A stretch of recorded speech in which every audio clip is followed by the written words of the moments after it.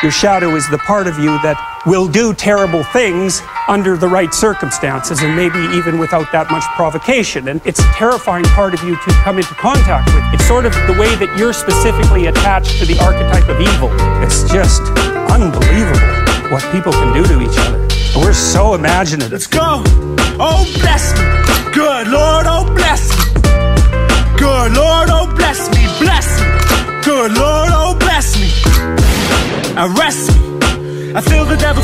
In my life more than ever. Through the stormy weather, he's been an ally. But I know he can't wait till the day that I die. I've sinned for him on countless occasions. Who would have known that the devil is Caucasian? With red hair and a dead stare, he stands there and shouts in the heavens. Why'd you have to keep me out, God? Why'd you have to force me to be an outlaw? I swear to you. I think I once a good in me, yeah. Uh-huh. I did once love someone, but you took her for fun. My sunlight and left me to fight in the dark with the heart that was left in pieces. I've suffered many times at the hands of man, but nothing can prepare you for his divine plan. Nah. Poetic, man. Oh, bless me, Father, it's hard to do good. Hard to do good. It's hard to do good. Oh, bless me, Father, it's hard to do good. Hard to do good. Hard to do good. Oh, bless me, Satan. I'm about to do your. Mother, for being a bad brother. Being a bad brother. Being a bad brother. There's a certain freedom gained when you lose everything and you're left with nothing. You have no obligations to anybody, so you can just grab a shorty and vent your frustration at an enemy of choice and prepare the deathbed. Send them other death threats. All of this, cause the thing that kept you sane is now up in flames, so you add gasoline.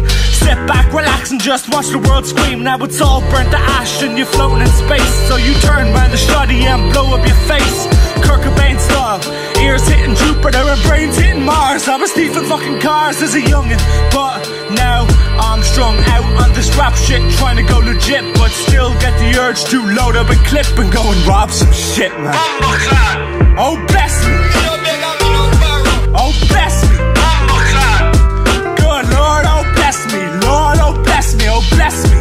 Good Lord, oh bless me, bless me. Good Lord, oh bless me, bless me. Good Lord, oh bless me, cast me down. Good Lord, cast me down.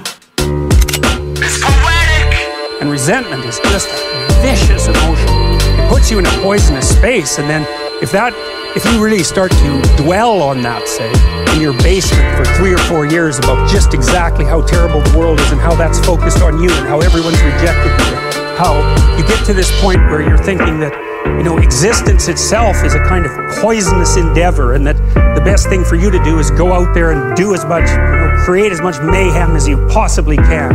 And if you really get to a dark place, you think, I'm going to create as much mayhem as I possibly can by targeting the most innocent thing I can possibly imagine. And then you end up shooting kids in Connecticut. And that's how you get there. And so that's a bad road, man. There's dark things down there, but you can go there, and people do.